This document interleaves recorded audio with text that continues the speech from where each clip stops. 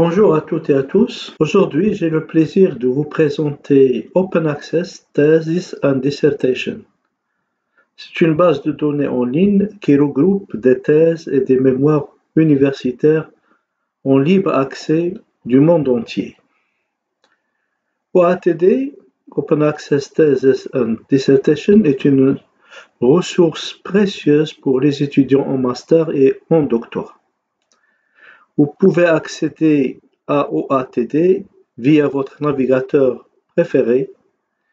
Sur la page d'accueil, vous tapez Open Access Thesis and Dissertation et vous allez aboutir sur le premier lien qui se termine par .org. Il s'agit d'un index de plus de 3,5 millions de documents électroniques, Electronic Thesis and Dissertation. L'index se limite aux enregistrements des thèses et des dissertations d'études supérieures qui sont disponibles gratuitement en ligne. Cette base de données est alimentée par plusieurs universités et instituts de recherche de différents coins du monde. Alors, voici une liste, bon, la liste exhaustive des universités et des instituts qui contribuent à l'alimentation de cette bibliothèque internationale. Donc c'est une base de données gigantesque, donc vous trouvez pas mal de documents, plus de 3,5 millions de documents qui sont hébergés dans cette bibliothèque. Alors prenons un moment pour explorer le site OATD. vous trouverez une barre de recherche où vous pouvez y saisir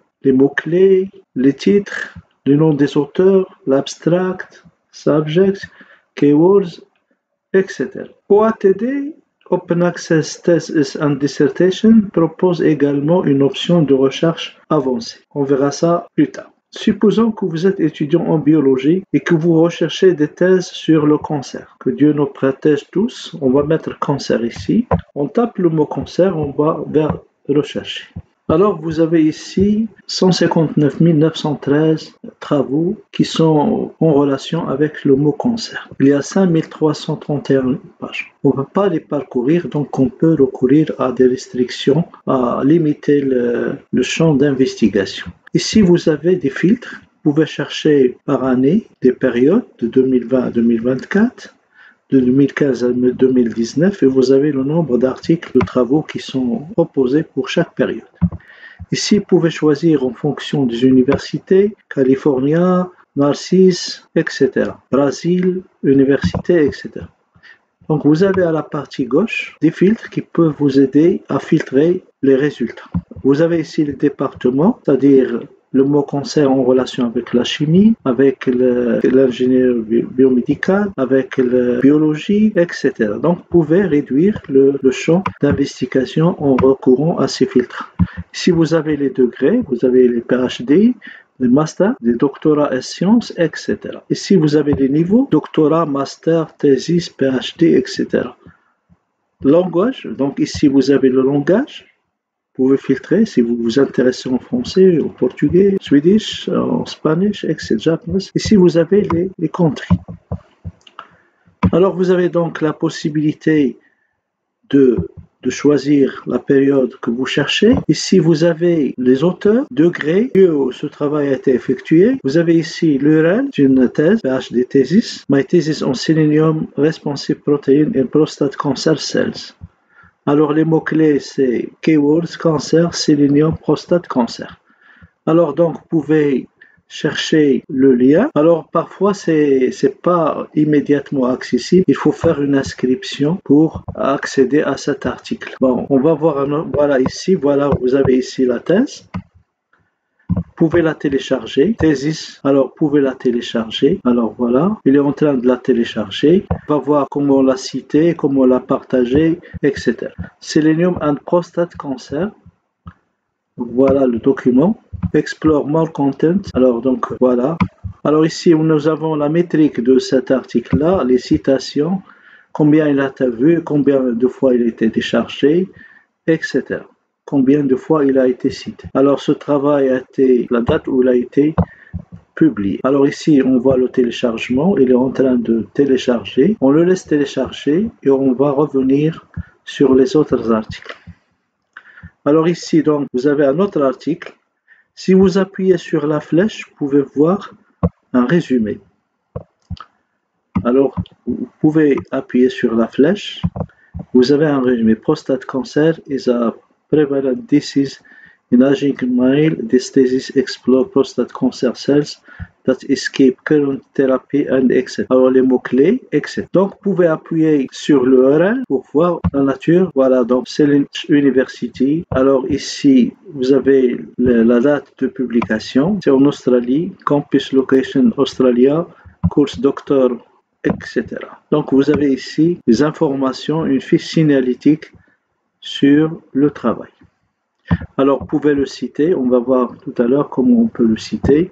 Ce travail est téléchargé, euh, bon, il a été vu 537 fois, il été téléchargé une seule fois et zéro citation.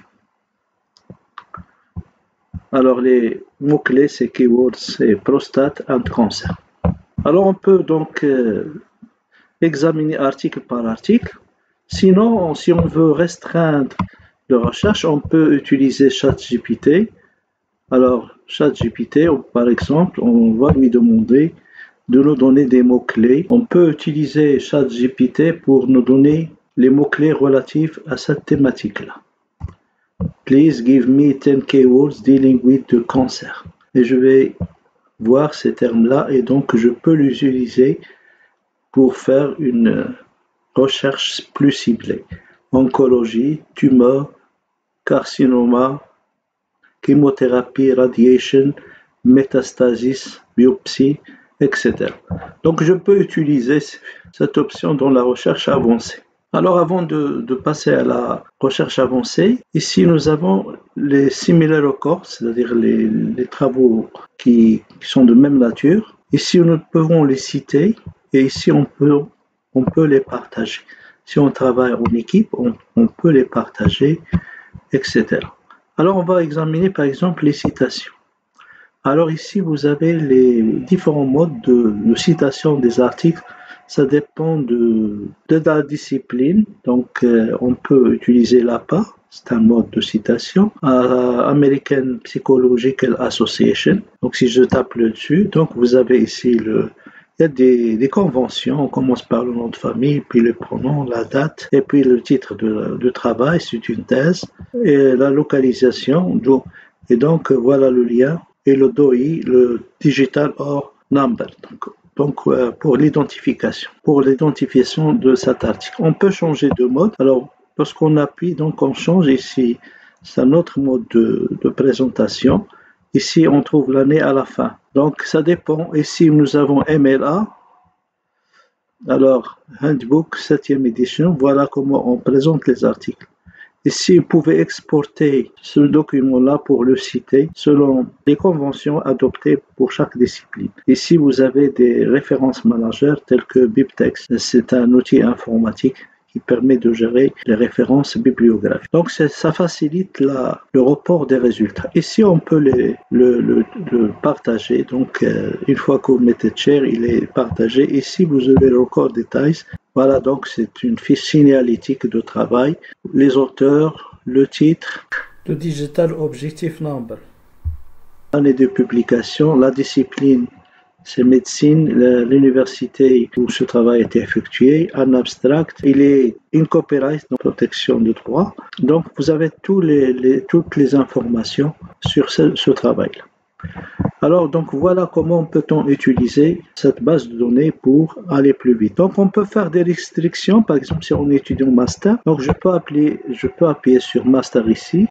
Alors voilà, donc on se limite maintenant aux travaux relatifs au master. Alors ici, nous avons les dates. Nous avons 887 travail qui a été effectué pendant cette période-là. Donc on peut choisir l'université, on peut choisir la discipline, ça dépend de quel côté on veut, de quel angle on veut attaquer la problématique de cancer. Et si on n'a pas des documents français, et si vous avez des problèmes de langue, vous pouvez télécharger le document et le translater, le, traduire via les outils de l'intelligence artificielle tels que Yandex Translate. Je vais vous laisser le lien dans la description. Vous pouvez également chatter avec les documents téléchargés et via les outils tels que AskPDF, ChatDoc, OpenIE, etc. Vous avez plusieurs outils qui vous permettent de chatter avec ce document et de tirer le maximum d'informations. On peut éventuellement utiliser ici les opérateurs booléens ou utiliser les options de recherche avancées. Alors ici, donc, vous avez All of Document. Est-ce que vous, mettez des mots-clés All these words, any of these words, the exact phrase, none of these words. Donc, vous pouvez choisir des mots que vous voulez soit ajouter, soit éliminer de cette recherche. Ici, donc, vous mettez fight, soit dans le titre, soit dans l'abstract, soit keyword, soit dans les départements et la discipline. Donc c'est à vous de choisir les, mots-clés en fonction de votre recherche. Donc vous avez comme ici ChatGPT, est-ce que vous voulez exclure ou inclure ces, termes-là pour restreindre, le, pour cibler votre recherche? Par exemple, on va mettre euh, métastasis, on va prendre ce mot-là, on va l'ajouter dans le filtre, par exemple ici, l'abstract. Ici, je peux rajouter aussi un autre terme biopsie ou la immunothérapie. Ça dépend. Donc, on va faire, on va prendre un mot au hasard, on l'ajoute dans cette option de recherche avancée pour restreindre le nombre d'articles. Voilà, je mets collé, pardon. Alors, donc, ici, donc, je peux euh, written in a language, donc je peux sélectionner le, je mets par exemple, euh, bon, je mets French, parce qu'on est francophone. Je peux mettre ici, donc, euh, bon, je le laisse. Euh, ici, je peux mettre l'année 2010. Je, vais étendre la période jusqu'à 2024 pour faire une revue, par exemple, de, de littérature. Alors, sorted by relevance. Et donc, euh, je peux ici cocher, si je veux, les travaux qui ne sont pas sous euh, protection de droit d'auteur. Donc je le laisse en ligne with Creative Commons licence. Je peux cocher si je veux avoir des documents qui sont libres de droit et que je peux utiliser. Ici, je peux euh, afficher le nombre de, de rendus par page. Je mets Zerch. Parfois, il y a une euh, surcharge sur le site de Open Access. Donc il faut refaire ça à plusieurs reprises pour euh, pouvoir accéder à cette. Lorsqu'on utilise les filtres, la recherche devient un peu plus longue. Donc il faut avoir la patience pour accéder à ce site et voir toutes les informations nécessaires. Voilà comment on peut utiliser cette plateforme-là pour faire des recherches avancées. Vous pouvez aussi utiliser dans la barre de recherche les opérateurs booléens. Alors, vous pouvez, par exemple, on va mettre concert. Regardez bien, ici, nous avons 5987 rendus résultats. Donc, si je mets concert et je mets end en majuscule, donc je peux utiliser les opérateurs booléens. And malinacity, donc je vais chercher et je vais voir combien ça va être réduit lorsque j'utilise les opérateurs booléens. Alors vous voyez, donc on est passé à 4528. La disponibilité des thèses et des dissertations peut varier d'une institution à l'autre. Certains documents peuvent être téléchargés directement depuis cette bibliothèque, tandis que d'autres peuvent nécessiter une inscription sur le site de l'institution. Assurez-vous de suivre les instructions spécifiques pour accéder à la version intégrale de, ces documents. Voilà donc le document qu'on a téléchargé et qu'on a demandé tout à l'heure. Donc vous avez. Alors voici le document qu'on a téléchargé tout à l'heure. Il est disponible, donc on peut le télécharger et donc travailler librement avec cette.